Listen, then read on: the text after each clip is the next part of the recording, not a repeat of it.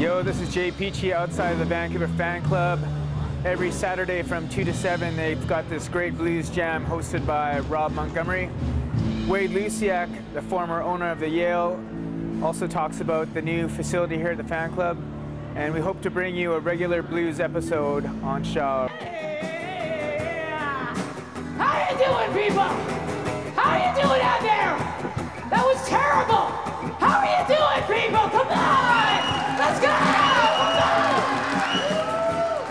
Welcome everybody to come down and have fun and socialize. Step into the sun. Step out of the shadows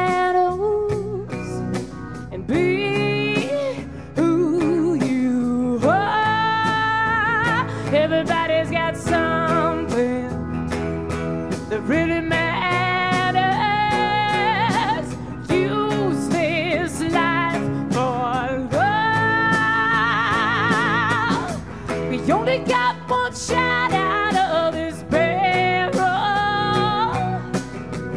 We only ever come this way but once. A continuation of a lot of fun. Uh, I've had the Yale for 27 years, and I think we've had the Blues Jam for just as long.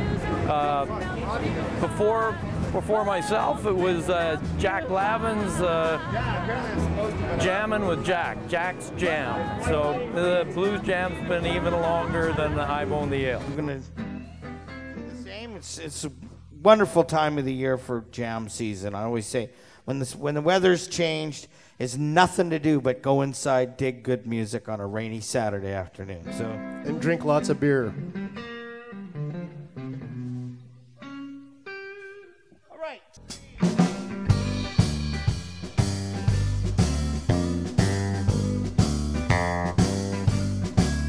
Well, I've been running the fan club Saturday Jam ever since we started up. We have pretty much all kinds of musical styles.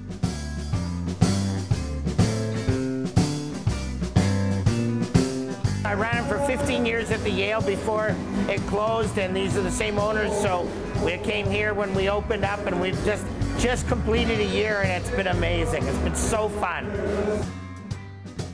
Let your head down, baby. Let's have a natural ball. Cause when you ain't happy, life ain't no fun at all. No, you can't take it with you, that's one thing for sure.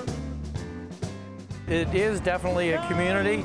Uh, I think it's really a warm feeling when you come in, you know. Uh, it's not just the community of the uh, the jammers that come in and really have a ball just getting up there doing whatever it is. Some are fabulous and some are not quite as fabulous. Uh, but you know, it's it's a sense of uh, of uh, neighborhood and a, a sense of, uh, of belonging for Vancouver, and I think this is a perfect example of that.